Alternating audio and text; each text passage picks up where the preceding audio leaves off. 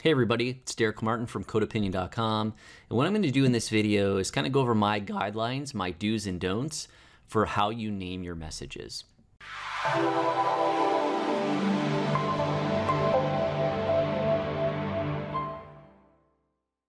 right, before I even get into the guidelines, we got to kind of cover the two type of messages that I'm referring to.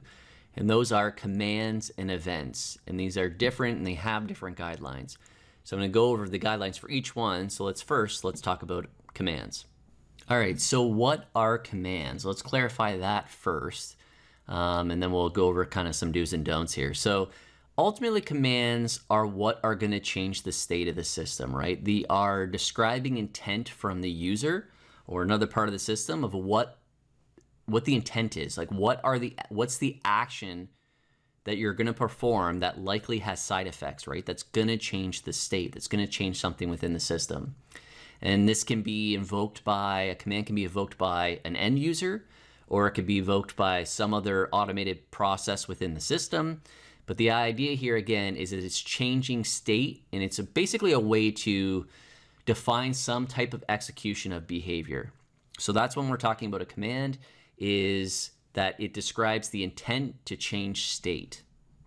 So for some do examples, basically where the way the kind of naming convention works out here is that you generally have a verb followed by a noun.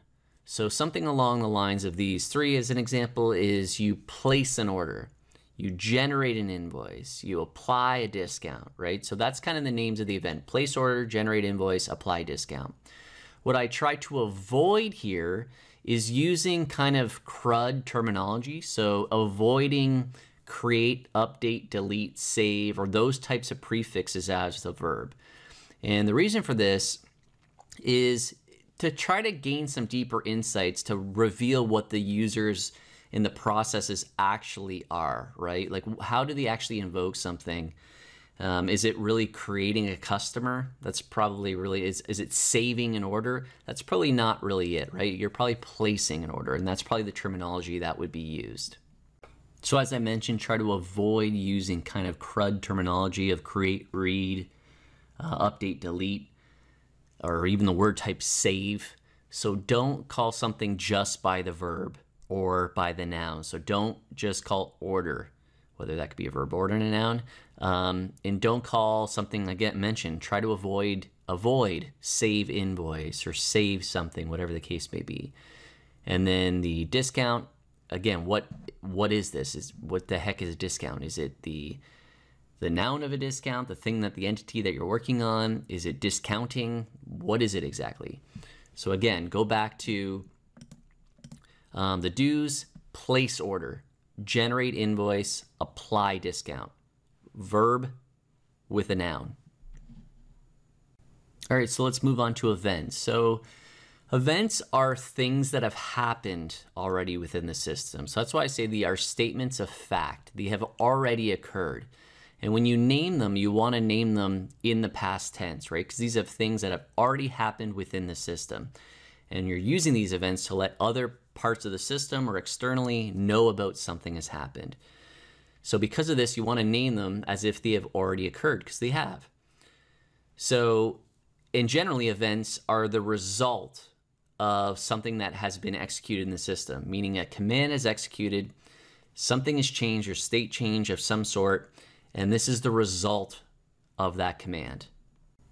So as mentioned in a similar way with commands, we want to do the same thing with events is we want to try to avoid the words like created, updated, deleted as any part of our, our naming, right? So good examples of this are generally in the form of a noun and a verb. And more specifically, that verb, again, needs to be in the past tense because these are events. These are things that have already happened.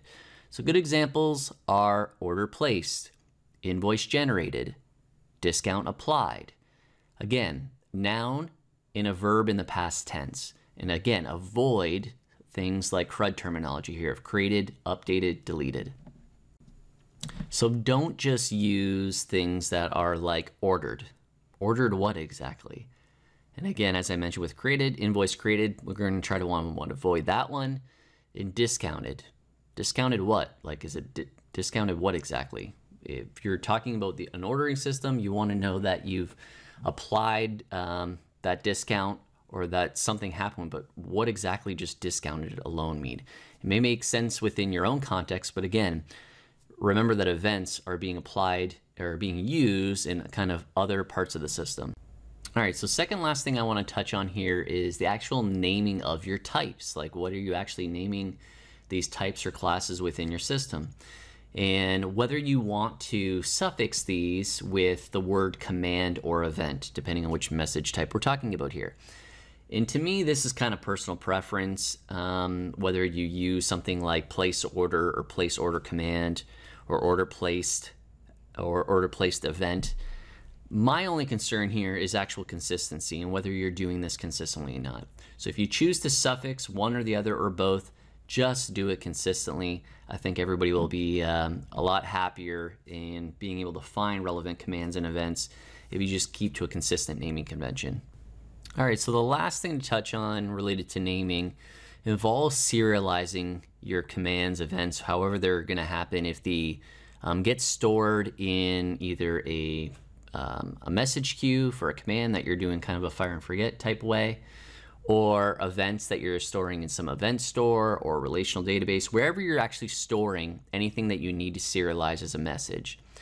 The key thing here that I've uh, determined is that you don't want to store the type name um, that's actually in your code uh, to, to figure out how to deserialize it. So if we're talking about .NET, one of the first things you could think of is if you're using JSON.NET to serialize your type into JSON, you can actually have this um, serialization setting where you can specify the type name handling to all.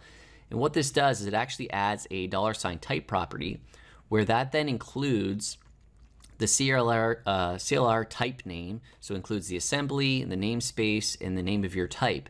That way, when you deserialize it, you can get back to that exact same type. The problem with this is, is that you're very likely going to either rename events, move events to different namespaces or assemblies. And if you're trying to get back to, say, these old events that you've persisted um, before you made this change, you're going to be in a world of hurt.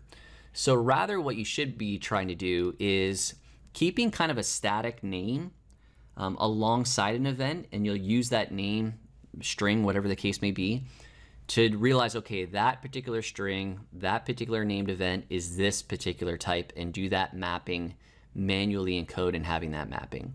Again, trying to have that property or something lives alongside your event and not using, again, a CLR type or the actual serialized event to try to figure out how to deserialize it. I have an example of this. I created a, a demo for SQL Stream Store. Um, this is the do exactly this. You provide the name of the event along with the actual data of your serialized um, event object that you can use then to when you deserialize.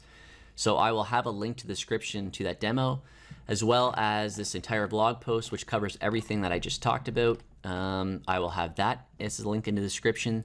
So if you enjoyed this video, please give it a thumbs up. And if you're interested in more videos in this fashion around um, architecture, messaging, please subscribe. Thanks.